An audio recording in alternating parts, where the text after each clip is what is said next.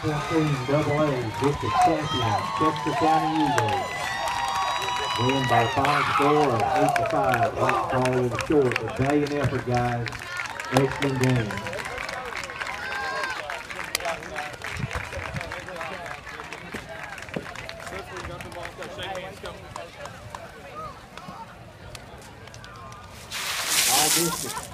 All Lord have mercy.